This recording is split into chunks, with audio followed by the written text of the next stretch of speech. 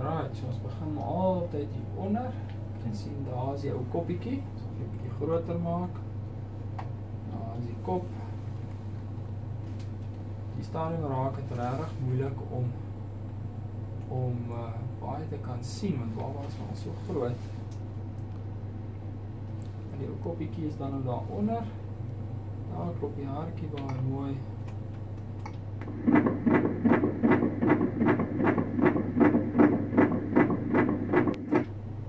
Ons kyk of ons nou meer te vinnig daai was.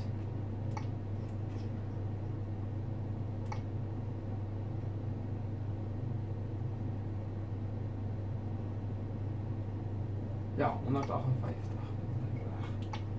Ons save daai. Soos 158 per minuut en dis maar wat 'n paar laartjies klop. Dit is heel pas mooi in. So daar's die ou haartjie, kan sien babietjie is maar aan die beweeg. Kyk daar beweeg ons op. Jou ruggetjie is voor.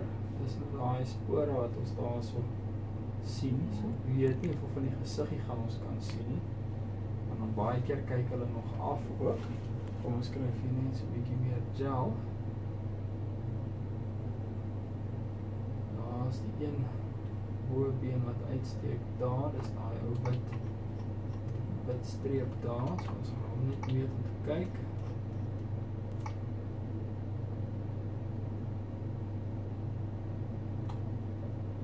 Save. Dis aan die ander kant daar afdraai. Ja, gaan dit draai baie keer maar weer. Maar meeste van hulle is gewoonlik al so. Daar's ons die een been, daar is die boude, daar is die streepies en die ander been loop daar. So is definitief nog steeds 'n dogtertjie. Daar's nog nie 'n verandering in plan nie.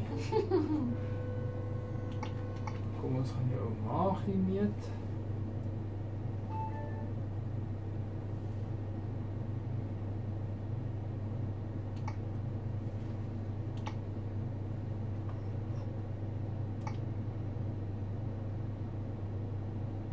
So 'n bietjie verander daar. So te gaan. 'n bietjie op gaan. Gaan 'n bietjie inkom.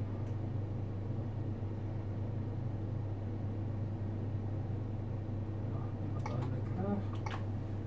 Dan is jou koppietjie gaan meet. So ons gaan weer hier onder toe. Daar kan jy so die een ou voorarmpie sien wat daar uitsteek.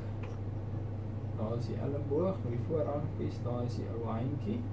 En daar is die ander elmboog met jou voorarmpie en die ander handjie. En dan daar is hulle gewoonlik so voor die koppietjie. So daar beweeg ons maar. Ons kyk maar nog eintlik redelik af. Daar is die een oorskulpie wat daar langs die kop sit. Daar is die koppie daar. Maar ons kyk maar nog bietjie af.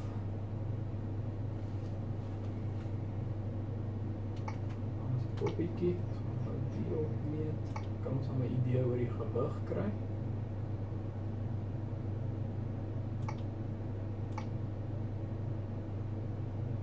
So babietjie is net so oor 'n kilogram. 1090 gram. Hm.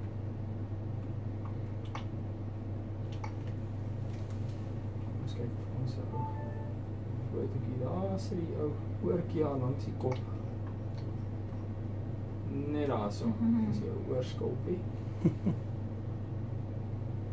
vandag, ek weet nie, vandag kyk al die babas. Alhoewel daar kan ons so 'n ou deeltjie sien. Hm. Daar kom die ou. Daar is die ou oogietjie. Daai ronde is natuurlik om waar die lens staan die oog, daar is die wangetjie.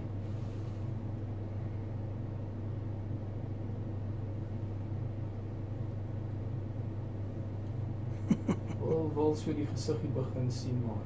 Dis draai nog so 'n bietjie haas, ek het deeltjie van die voorkant van die neus uit. Daar is die een neus gaan. Ah, was die mondjie. Mhm. As jy die wine daar kan jy sien dis die ou mondjie oop. Gaan hom op vir print, maar jy sal bietjie moet verduidelik daar by die huis presies wat daar aangaan.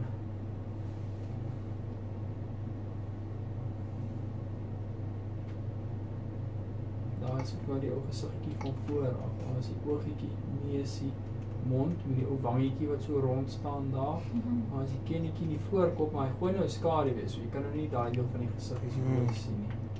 Maar dis ongelukkig hoe dit gaan op die stadium. Ag, gaan uh, kom ons mee die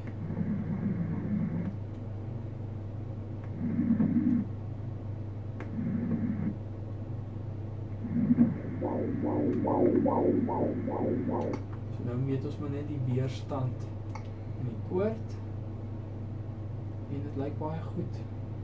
Daar's nie 'n probleem daar nie. Dis nou maar net die weerstand na die plasenta toe. Maar ek is net nie daarmee ook. Ek sien babatjies is baie fleksibel. Daar sit die koppie en daar sit die voedsel, Yes. né? Ja. So hy lê sommer so teen die gesig hier op. Daar is die groot toon, daar is die ander tone, daar is die hak. Kan sien is letterlik daar is die handjie, daar is die voet, daar is die kop. Daar is beweeg die voet nou so 'n bietjie. Daar is die ander voet met die met die laar been. Ja, nou wat nou so swakker. Ons kyk na die verslag.